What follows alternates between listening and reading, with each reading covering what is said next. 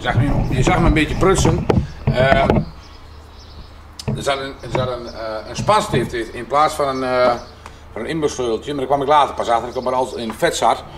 Maar wat nou niet in vet zat en wel zou moeten, dan is dit lager. En nou ja, ik weet niet of de camera het goed pakt. Maar goed, dat lager is wel naar zijn galamiesje. En dat geldt ook voor dit lager. Dus dan moet even, eh, ga ik even uh, eruit tekenen en een paar nieuwe lagen halen. Sorry jongens. Het is, nog steeds, het is hier ontzettend puinhoop. De ploeg staat nog steeds binnen. Uh, we zijn er nog steeds aan het inkuilen. Misschien hoor je op de achtergrond de trekkerfluit. Die hoort ook kinderen. Uh, Maarten is nu aan het oprapen. Jasper die is nu aan het, uh, de keul aan het vastrijden en verdelen. Henk kon vandaag niet en ik wil gewoon die sproeier aan het lopen hebben. Ehm, want het is nog steeds hartstikke droog. En nou ja, dus dat ding moet gerepareerd. Makkelijk zat. Dus daar ben ik daar nu mee bezig. Goedendag dames en welkom weer. Daar de achtergrond is een regeninstallatie. Wij zijn er gaan beregenen. En ik ben aan het strooien. Um, ik, heb de, ik heb de sproeier weer gemaakt. Ik zal er een, uh, een clipje van, van in, in, doen van, van vorige week, wat, wat ik meer te repareren was. Dat was gewoon wat werk, had ik al gezegd. Maar goed, het is nog steeds te koud en te droog. Afgelopen week hadden we natuurlijk hemelvaart en uh, het enige warme dag in een lange tijd. En het is weer koud, ik heb een Vesta, het is, uh, ja, het, het waait heel hard. Maar hè, even andersom.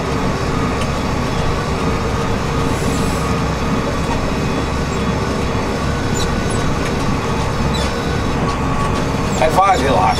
Ik werk niet met GPS, ik werk op uh, uit de losse pols. Ik doe, dit werk al een tijdje, dus dat lukt wel. Uh, te koud en te droog is het nog steeds en uh, ik ben nu aan kunstmestrooien, dus zaterdagavond. Waarom kunstmestrooien dan nu nog? nog? Nou, vanmorgen is er toch een klein beetje regen voorspeld, helemaal niet veel, 2 of 3 mm, maar, maar goed, ieder uh, kunstmestkootje waarop lost, lost op en kan uh, gebruikt worden door het plant. En uh, kan morgen weer de regeninstallatie op dit stuk. Want ik heb er al bij een paar percelen gedaan, perceel achter, achter ons en een paar percelen hier bij huis. Maar ik kan zo meteen met de koeien wil. Heb ik kunstmest gestrooid. Heb ik, heb ik 25 kilogram zuivere stikstof opgegooid. Hier gooi ik, dit wordt hopelijk weer maaien. Die gooi ik op 40 kilo zuiver. Ik moet een beetje opletten waar ik net gereden heb, want ik kan het amper zien. Um, en dan gaan we dus gewoon berekenen. Ik wil voor je tijd even de kunstmest erop hebben. En is daar aan de kant. Ik hoop dat ik genoeg heb voor alles. Voor hier wel. Uh, hier ben ik uh, uiteraard op het huisperceel. Uh, voor hier heb ik genoeg. Maar ik moet dan nog de, de, de andere kant van de weg, dat zijn de twee percelen waar ik, die we afgelopen najaar in hebben gezaaid.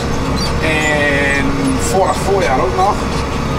De groene racebanen, zoals ik dat zo mooi altijd noem. Die moeten nog uh, opgestrooid worden. En ik hoop dat ik voor genoeg heb, ik denk het niet. Dus ik zal volgende week eerst moeten bestellen. Maar goed, geen haast, want het regent toch niet. Uh, ik doe er ook nog geen mest op. Want ja,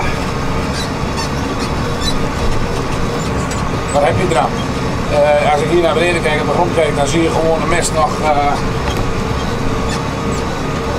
de mest nog gewoon in de zo liggen. Ja. Ik wil maar indrukken, maar die hebben gewoon water nodig. Dus ik, ga er wel, ik hoop nog steeds dat er natuurlijk water komt. Ik hoop nog steeds heel landbouwend uh, Nederland. Maar het is er wel droog. En uh, ik heb hier in de buurt nog nooit zoveel beregenshaspels bij elkaar zien staan. Niet bij elkaar staan, maar aan het werk te zien. Ik reed uh, van de week een stukje rond en toen telde ik in, in, in een kwartier die tijd nogal 10 haspels. We draaien zelf ook weer met twee. Uh, mijn eigen staat hier dan op, op het huisperceel. Daar heb ik zeker nog wel werk aan tot ja, twee trekken per dag ongeveer probeer ik altijd. Uh, maar daar kom ik vandaag niet helemaal aan. Uh, ik heb hier zeker nog wel een trek of vijf hokjes sowieso nog wel, zes. Dus dat is zeker nog drie dagen. Dan ga ik weer naar de andere kant van de weg. Ik voor het maaien ook geweest en die grond die Uh, als je die nu zo ziet, dat is, uh, is hartstikke mooi groen. Dat, uh, dat ziet er hartstikke goed uit, moet ik zeggen. Maar, maar dus we proberen nou in de wegen rond te komen. Ik heb een maisbak gehad voor opkomst. Dus de mais staat er nu mooi op. De grond is ook mooi vochtig geworden. Ik heb daar goed water op gebracht. Ik, mijn, mijn, doel is eigenlijk een beetje om te proberen de eerste twee rondes die ik nu doe, veel water te brengen. Dus minimaal per trek een millimeter of 50. Ik, ik hou er eigenlijk nooit bij. Maar ik stel de haspel altijd zo in dat hij zo snel oprolt dat hij klaar is met zijn trek. Ehm, als ik tijd heb om dat ding te verzetten. En dat is niet bijvoorbeeld uh, s ochtends bij het ontbijt of middags bij het avondeten. Of als de kinderen naar bed moeten. Uh, maar we hebben vier kleintjes, dus mevrouw de die van, kan daar niet allemaal in. Dus dat helpt, helpt ik me, vind ik mooi werk ook. Uh, maar goed, dan probeer ik dan uh, daar een beetje tussendoor te plannen. En dat gaat eigenlijk best goed, maar ik probeer dan, en dan soms loop je een beetje natuurlijk in de knoop, en dan staat hij een paar uur stil. Maar dat probeer ik natuurlijk altijd te voorkomen. Uh, maar goed, ik probeer dan twee trekken per dag te doen. Ik probeer nou gewoon uh, wel, wel veel water te brengen. We hebben nu uh, vandaag een watertrouw en afgelopen donderdag, heel veel van dag, uh, was het dan warm. Maar verder was het eigenlijk hartstikke bewolkt. Dus, dat betekent weinig verdamping. Met een klein beetje regen gaat deze week de straat was nat, maar dat is werkelijk, werkelijk, werkelijk alles meer gezegd.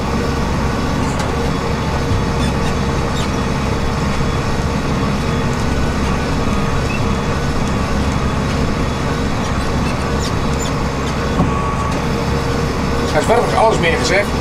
Uh, ja, dus beregenen, beregenen, beregenen. We zijn nu met twee en ik moet nog even kijken bij die andere. Dat gaan zo ook nog even doen.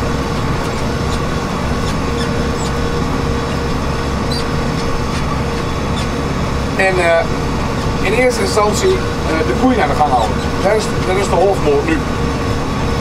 Dat is nu de hoofdmoot. De koeien naar buiten en de koeien naar de gang houden. Uh, mee voorraad is natuurlijk sinds vorige week wel erg gegroeid, maar goed, die ligt en dan wil ik nog sowieso tot september niet aan beginnen. Dat zal ik wel niet helemaal redden, denk ik. Het zal wel heel wat rustig worden, ongeveer ergens in die wereld. Als het meer zit.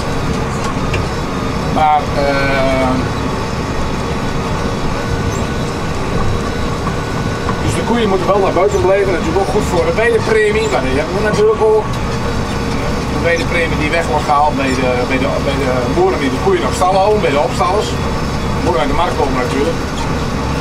Maar goed, de consument uh, vindt dat, uh, de burger vindt dat de koeien naar buiten moeten, maar de consument wil er niet voor betalen. Dus nou ja, dan lossen we hem zo. Gewoon een herverdeling van melkgeld. Kijk naar huis. Nou ja, dat, maar nu ben ik dus het kunnen strooien. Ik, ik heb hier exact. Dus ik zal.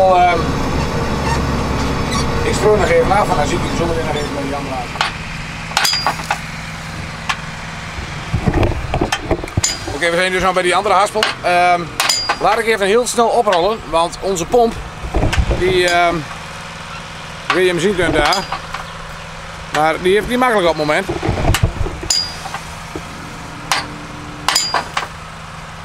Die, een, er zit een harts, hartsmotor zit erop en die motoren zijn in principe onverwoestbaar. Alleen, uh, volgens mij is hij nou met de olie gaat opstoken, dus hij rookt als een dolle. Dus ik laat hem heel snel oprollen, dat in ieder geval die, uh, die kanoonkar weer over is. Dan, uh, dan, kan, hij, dan kan hij uit, maar uh, die lijkt me niet goed. Maar dit is een, dit is een kort stukje, dit is zo klaar. Dus, ik wacht er even op. Ik doe nooit een dol op, maar wat na. Dat ging maar echt goed, zijn we dan. Uh, dus, maar goed, uh, beregenen al wat kan. Uh, al wat kan wordt denk ik iets minder met die pomp. Maar goed, die motor zal waarschijnlijk uit zijn pakking of zo lek wezen. Dus even kijken of we wat van vinden kunnen. Vast, komt vast goed. Voor nu zou ik zeggen, like, reageren en abonneren voor meer. Volg mij uiteraard op Facebook en Instagram en let's make farming great again.